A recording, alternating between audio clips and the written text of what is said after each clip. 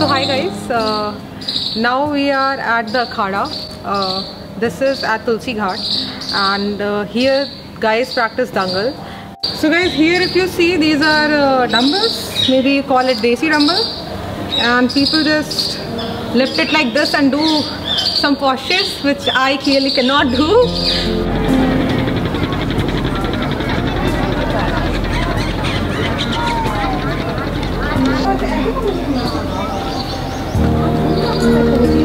हाँ ना ऐसे दिए तो हाथ ऐसे ही पकड़ते हैं उल्टी दिखला सकते हैं टेन रुपीज लगता है नीचे So now we are at the famous Lolarkund and let me tell you a little bit story about that. It is believed that the ladies who don't get pregnant come to Lolarkund and take a dip in it and then uh, Lord Shiva will bless them with the babies.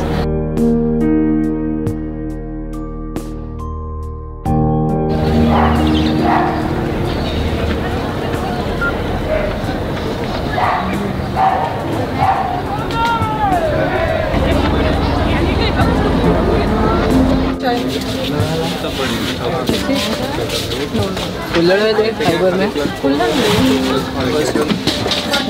पक गया है वो तो ये चलता है हम तो पी लेंगे फैमिली के लिए कर दीजिए भाई so this is one of the famous piece stalls of Assi now is putting tulsi inside है so tulsi is the one factor that makes it special most of the youth in Banaras and most of the middle age people and even the old-age people come to Job job have this tea and they talk about politics, they talk about social issues, and they talk about day-to-day life. So this is what you call in Banaras is chai pe charcha.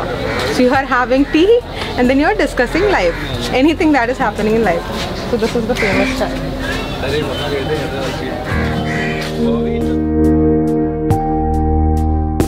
So this is the famous tulsi tea that I was talking about, uh, which people in Varanasi love. If you are coming to Assi, you have to have this. Otherwise, your Assi visit is not complete. So cheers, guys.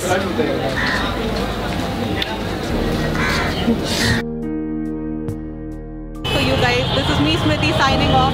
Hope to see you next time in another video by Glam Goa. Bye bye.